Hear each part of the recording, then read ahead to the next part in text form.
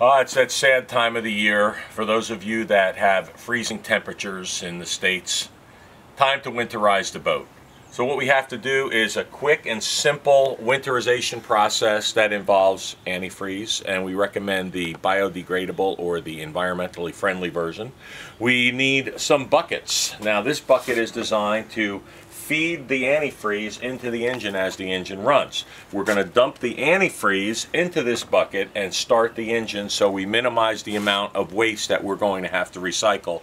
All of our reclaimed antifreeze will be recycled at a proper recycling uh, area. When we dewinterize the boat, the same process, or I should say the opposite process, will follow where you're going to have to take the antifreeze and we recommend you replace it back in the bottles and market for recycling. So recycle all your all of your antifreeze to help protect the environment.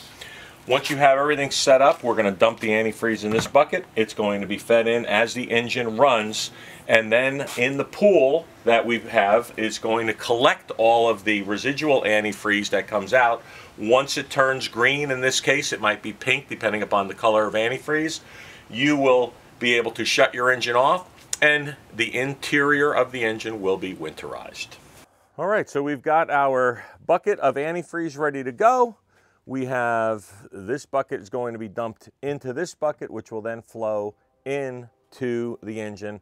Once the bucket is poured, Nick's going to give me the sign, start the engine, and I'll start the engine. And prior to this whole winterization process, the recommendation here is to have your engine running using fresh water.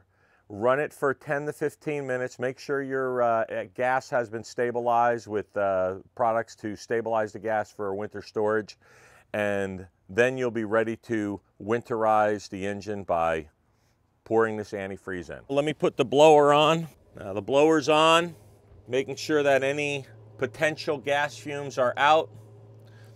Blower should be running for at least four minutes prior to starting. All right, Nick, we've got our four minutes done. When you dump it, tell me when. Tell me to start it, okay?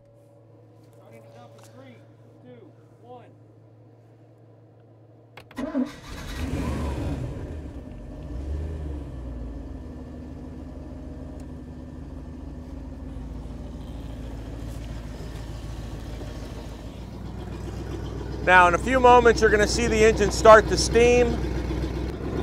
All right, so the flow is coming in from the antifreeze bucket, is being pulled in by the impeller. The impeller is what's responsible for cooling the entire engine. It pulls fresh water in and it circulates it throughout the engine, cooling the engine.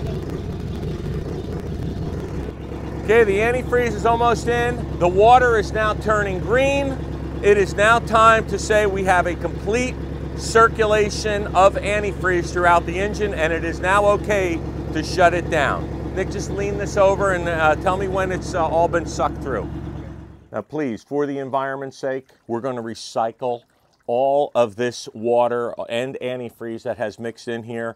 When we dewinterize, get it ready for next season, we're going to do the same process except we're just going to be pumping fresh water in to circulate through the engine, which will in turn clean out any of the antifreeze that's been put into the engine. Again, we recommend that you use the environmentally friendly type antifreeze.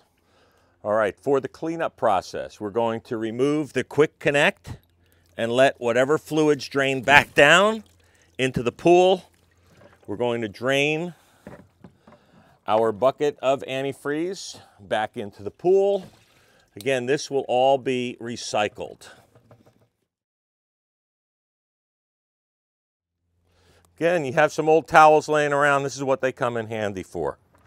Cleaning up the residual antifreeze or anything that might have leaked out. Okay, the final step. What has now been recovered in this pool will now be taken to a recycling center in the properly marked containers. There's always plenty of recycling containers around. So antifreeze, just identify it as antifreeze and place them in a secure area to be recycled.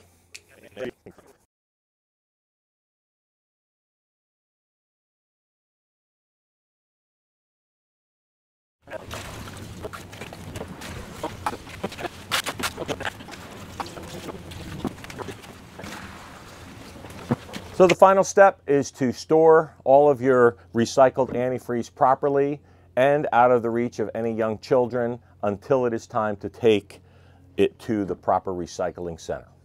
When you recycle your antifreeze, if you notice the color is similar to the original color, you can purchase a coolant tester from your local auto parts store and test it to see that you may be able to use it the following year for winterizing your boat.